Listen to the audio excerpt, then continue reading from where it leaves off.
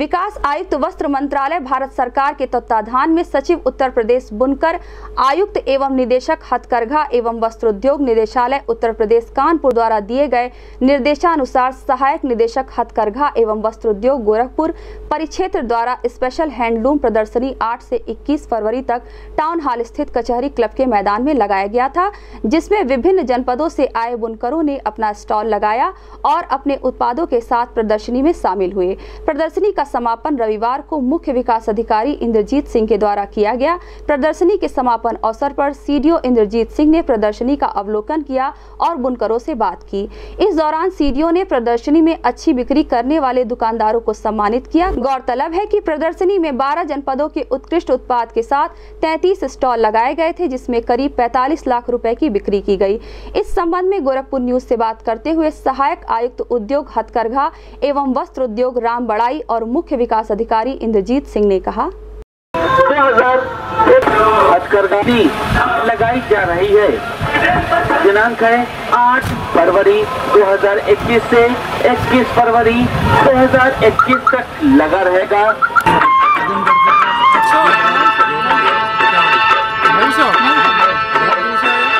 आपकी गोरखपुर में पहली बार special handloom expo special handloom expo कहाँ बनाते हैं? स्थान है टाउन हॉल का मैदान गोलघर गोरखपुर आमंत्रित हैं हैंडलूम एक्सपो गोरखपुर 2021 वो ऊपर सर जयकार्ड सिस्टम होता है। वो जयकार्ड सिस्टम पत्ते को उसकी डिज़ाइन पत्ता वो चिको करता रहता जी जी जी। जैसे जैसे वो पत्ता अपना चलता जाता है इसके बाद जो डिज़ाइनिंग होता है। बात।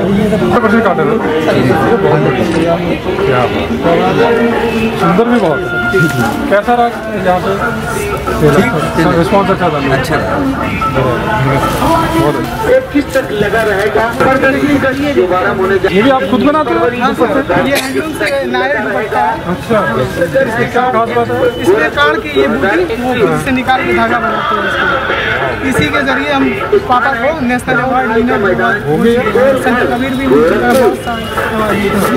है जी। है पूरे मुल्क में सिर्फ़ एक ही अवार्ड है और हैंडलूम भी वहाँ पे खत्म हो रहा है सिर्फ़ हमारे ही रहे हैं। हम लोग यही बुनते हैं बड़ी मेहनत है। बिक्री नहीं हुई। क्यों? बिक्री हुई नहीं जाती। कुशल कारीगरों के द्वारा हाथ के बने सामान लुंगी चादर गमछा शर्टिंग ड्रेस मटेरियल ने और की बनाया कहाँ पे? बनाने में कितनी मेहनत थी कितना टाइम लग जाता है? टाइम चले गया था समझ लिए कि बारह घंटा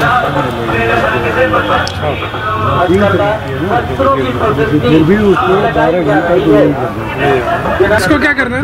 इसकी ट्रेनिंग दो इसकी लेडीज़ सब हमारे जो समूह है। बाकी इतना समूह हमारे यहाँ के बनाने लग गए हमने तो यहाँ भी बहुत मिला इधर आओ मेरे पास। शाबाश मेहनत के